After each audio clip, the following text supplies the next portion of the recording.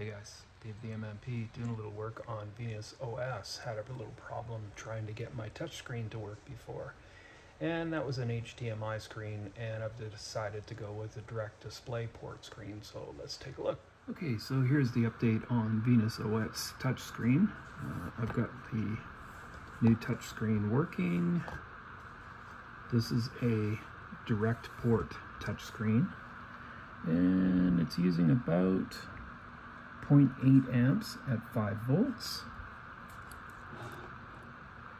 I've got the Pi 4 on the back of this thing with my relay board so I can control devices directly from home or from the VRM portal uh, or the remote console on my phone. I'm going to install this in a enclosure and this will get mounted in the boat. Just wanted to give you guys a little update on where I was with Venus OS. I actually got it up on the portal here. So this is the VRM and on the computer you can see that I'm looking at the boat. I can monitor this from anywhere from home.